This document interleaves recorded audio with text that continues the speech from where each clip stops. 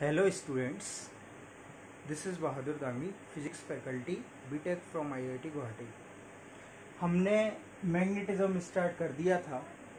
हम अभी देखेंगे कि magnetic field due to moving charge अच्छा मैग्नेटिक फ़ील्ड जैसे हमने पढ़ा था कि ग्रेविटेशनल फ़ील्ड क्यों क्रिएट होता है तो ग्रेविटेशनल फ़ील्ड का क्रिएट होने का जो रीज़न होता है, वो मास होता है। Gravitational field creates due to mass ऐसे ही इलेक्ट्रिक फ़ील्ड क्यों क्रिएट होता है बेटे?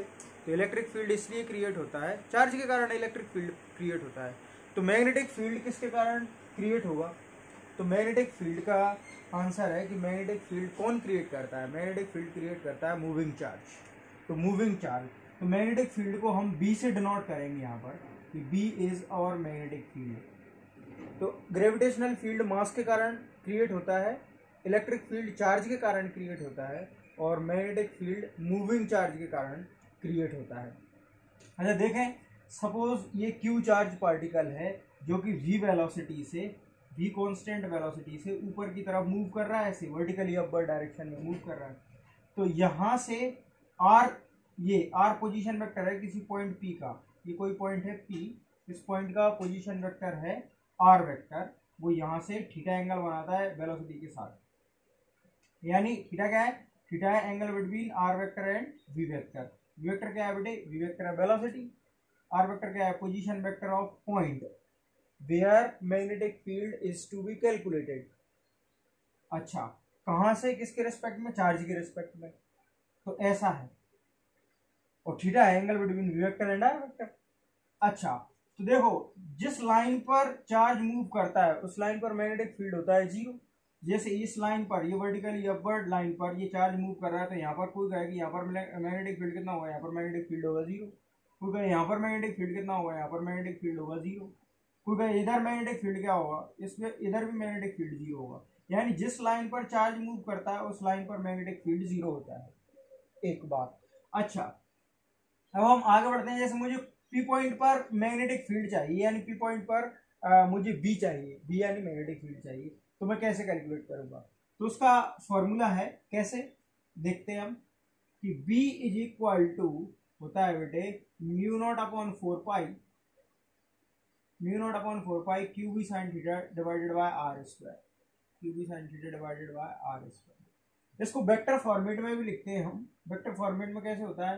वेक्टर फॉर्मेट में आपको सबको लिखना आता ही है कि mu naught upon four pi और क्यू वी क्रॉस आर कर देंगे इसको। V vector cross R vector R vector क्या है? Position vector of point P with respect to charge अच्छा V cross R divided by इधर आर एक ऊपर आ गया ना?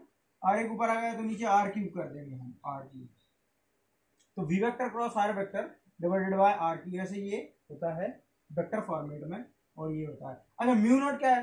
म्यू नोट हम जानते ही हैं। परमिएबिलिटी ऑफ़ फ्री स्पेस है ये। ये कांस्टेंट होता है। म्यू नोट की वैल्यू हमने बताई थी। क्या होती है बेटे? Four pi into ten raise to power minus का seven.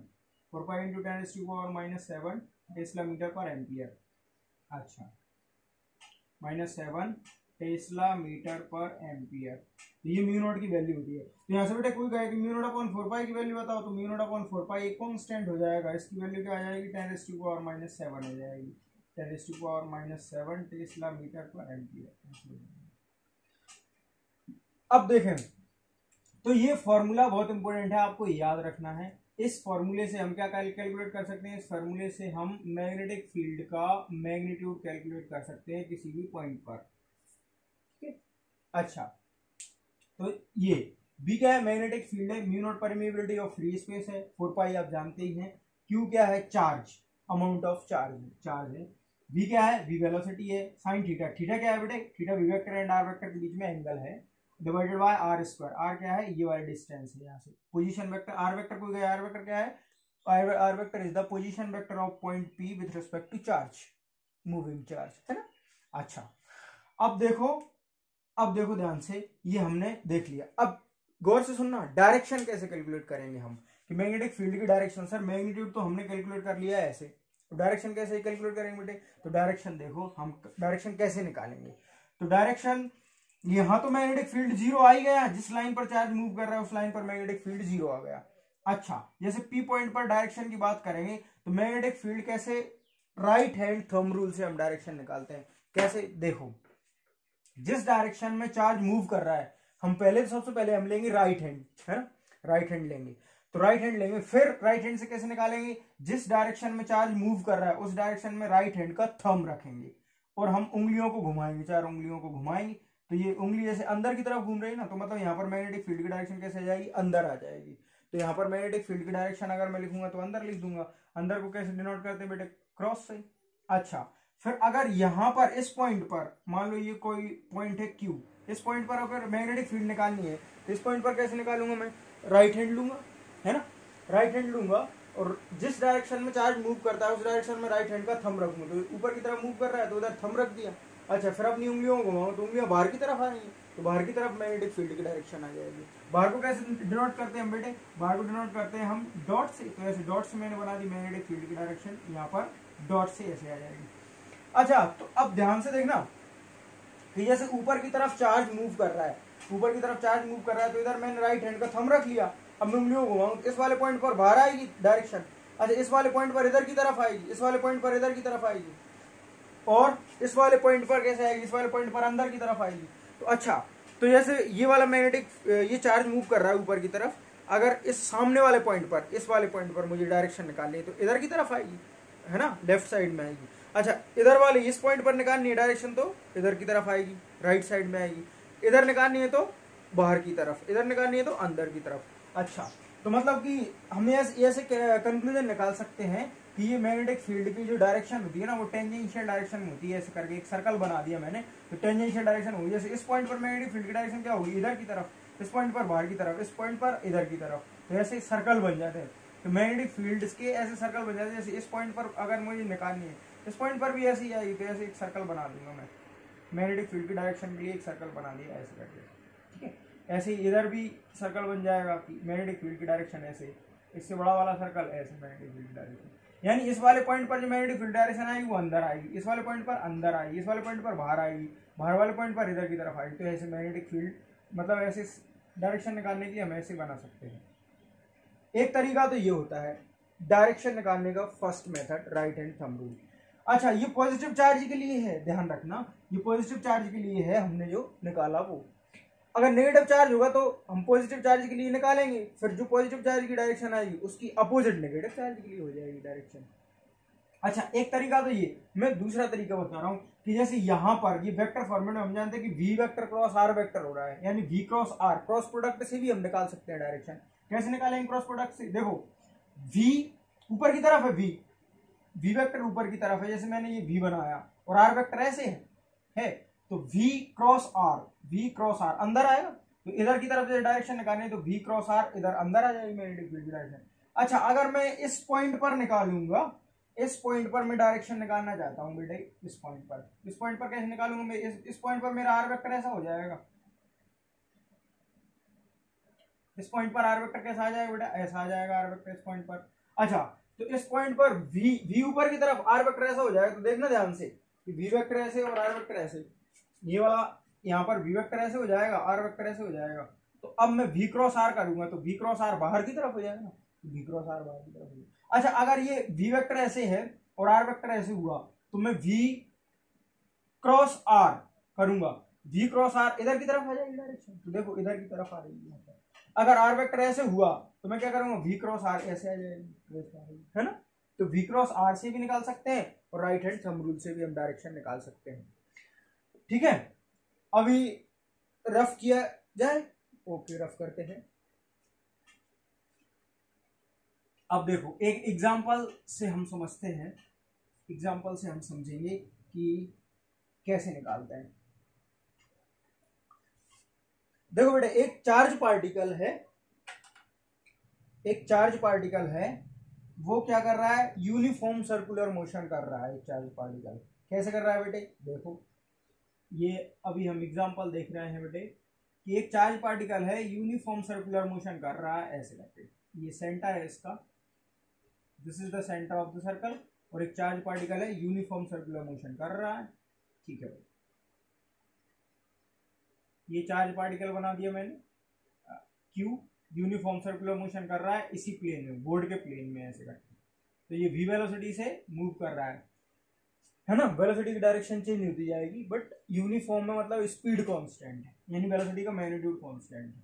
अच्छा तो अब जैसे ये चार्ज पार्टिकल है क्यू भी स्पीड से कांस्टेंट स्पीड से यूनिफॉर्म सर्कुलर मोशन कर रहा है, ऐसे करके। ऐसे ऐसे घूम रहा है यूनिफॉर्म अच्छा और इस जो सर्कल है, उसकी रेडियस है आर कैपिटल आर आपको रेडियस ऑफ़ द सर्कल दे रखी है। अब इसके कारण मैग्नेटिक फ़ील्ड निकालना है सेंटर पे। Find magnetic field creates due to charge particle moving in a circle with constant speed at its centre ये सेंटर पे हमको निकालना है मैग्नेटिक फ़ील्ड तो कैसे निकालेंगे? देखो, एक चार्ज पार्टिकल मूव कर रहा है यूनिफॉर्म सर्कुलर मोशन कर रहा है, इससे सेंटर पे हमको मैग्नेटिक फ़ील्ड निकालना है सर्कल के सेंटर पे। तो कैसे निकालेंगे? पहले डायरेक्शन की बात करते हैं। ठीक है भाई? तो जैसे, अब डायरेक्शन हमने कैसे निकाला था? राइट हैंड थंब रूल से, कि जिस डायरेक्शन में चार्ज पार्टिकल मूव करता है, उस डायरेक्शन में राइट हैंड का हम थंब रखते हैं तो ये राइट हैंड का थंब रख लिया, और ये उंगलियाँ किधर रखते हैं? उंगलियाँ पॉइंट की तरफ़ रखते हैं, जहाँ पर मैग्नेटिक फ़ील्ड की डायरेक्शन निकालने तो सेंटर की तरफ़ सेंटर पे निकालने तो सेंटर पे आ जाएगी उंगलियाँ। अब ये उंगलियाँ बाहर आ रही तो बाहर की तरफ़ मैग्नेटिक फ़ील्ड आ जाएगी। बाहर की तरफ़ मैग्नेटिक फ़ील्ड आ जाएगी। अच्छा दूसरा तरीका वी क्रॉस आर से तो जैसे आर वेक्टर निकालते हैं आर वेक्टर क्या होता है? Position vector of point with respect to charge तो position vector of point with respect to charge ऐसे आ जाएगा, बड़े आर वेक्टर ऐसा आ जाएगा। अब वी क्रॉस आर करूँगा तो वी क्रॉस आर बाहर की तरफ़ आएगी। तो डायरेक्शन तो बाहर आ रही है भाई। डायरेक्शन बाहर की तरफ़ आ रही है तो मैग्नेटिक फ़ील्ड की डायरेक्शन को मैंने डॉट से बना दिया कि बाहर की तरफ़।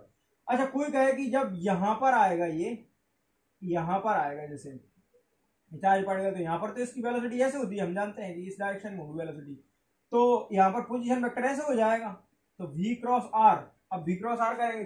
V cross R magnetic field बाहर आएगा। और ऐसे भी निकाल सकते हैं कि यहाँ पर आएगा तो हम राइट हैंड का थम हमने कैसे रखा? इधर की तरफ़, जिधर पॉइंट चार्ज मूव कर रहा है। उंगलियों को घुमाया, उंगलियाँ बाहर की तरफ़ घूमे तो मतलब बाहर की तरफ़ आएगा। तो मैग्नेटिक फ़ील्ड हमेशा यहीं आए बाहर की तरफ़ आएगा। जैसे मान लो अगर यहाँ पर है चार्ज पार्टिकल यहाँ पर वेलोसिटी इसकी ऐसे हो जाएगी और आर वेक्टर ऐसे हो जा जाएगा है। ना? वी वेक्टर तो वी क्रॉस आर तो देखें वी क्रॉस आर कैसे बनेगा बेटे? वी वेक्टर तो ऐसे हुआ और आर वेक्टर ऐसे हुआ तो वी क्रॉस आर करूँगा मैं वी क्रॉस आर बाहर की तरफ़ आएगा। ऐसे देख लिया। अगर जिस डायरेक्शन में राइट हैंड थंबुल से देखें तो जिस डायरेक्शन में चार्ज मूव कर रहा है, इधर की तरफ़ मूव कर रहा है, उंगलियों को घुमाया, बाहर की तरफ़ तो बाहर की तरफ़ आ रहा है। मतलब बाहर की तरफ़ ही डायरेक्शन आनी है। तो मैग्नेटिक फ़ील्ड की कोई कहे कि डायरेक्शन किधर आएगी बेटे? तो डायरेक्शन तो हमने बता दिया कि बाहर आएगी आउटवर्ड आएगी डायरेक्शन आएगी। डायरेक्शन आएगी आउटवर्ड अच्छा मैग्नीट्यूड निकालना चाहते हैं हम। तो मैग्नीट्यूड के लिए हमने बताया था बेटे फॉर्मूला क्या होता है? Mu naught upon four pi Q B sine theta divided by R square mu naught upon four pi Q B sine theta divided by R square ठीक है? अच्छा mu naught upon four pi की value आपने बताई थी। कितनी होती है? टेन टू पावर माइनस का सेवन अच्छा क्यू क्यू तो क्यू है। क्यू यानी चार्ज वी वी है। साइन थीटा ये क्या है? वी एंड आर के बीच में एंगल तो देखो वी ऐसे है और आर के बीच में एंगल ये थीटा 90 डिग्री नज़र आ रहा है? वी आर के बीच में एंगल अच्छा यहाँ पर वी कैसे होगा बेटे? यहाँ पर वी ऐसे होगा, इधर की तरफ़। और आर कैसे होगा? आर ऐसे होगा। वी एंड आर के बीच में एंगल यहाँ पर भी नाइनटी है। वी एंड आर के बीच में एंगल यहाँ पर भी नाइनटी है। वी एंड आर के बीच में एंगल यहाँ पर भी नाइनटी है। तो वी एंड आर के बीच में एंगल कितना आ रहा है बेटे? नाइनटी यानी थीटा कितना आएगा? हमेशा नाइनटी डिग्री तो मैं कितना लिख दूँगा बेटे? Sine ninety divided by R square R यानी ये वाली मैग्नीट्यूड ये तो कैपिटल आर दिया है हमको। तो कैपिटल आर का स्क्वायर हो जाएगा। साइन नाइनटी क्या होता है? आप जानते ही हैं साइन नाइनटी क्या होता है बेटे? साइन नाइनटी होता है वन साइन नाइनटी होता है वन साइन नाइनटी की जगह मैं लिख दूँगा वन तो कितना आ जाएगा बेटे? ये आ जाएगा ten raise to power minus का सेवन क्यू वी इंटू इसकी जगह। तो वन लिख दिया मैंने डिवाइडेड बाय आर स्क्वायर यानी कि जो आ जाएगा, हमारे पास Q V divided by R square into ten raise to power minus का सेवन ठीक है? ये इतना टेस्ला आ जाएगा। अच्छा टेन पावर माइनस की सेवन की जगह हम म्यूनोट अपन फोर पाई भी लिख सकते हैं। इतना तो आप जानते हैं। तो यही है आंसर इतना तो मैग्नीट्यूड में आएगा। और डायरेक्शन में कैसे आएगा? बाहर की तरफ़। आउटवर्ड डायरेक्शन में। ओके नोट करें आप इसको।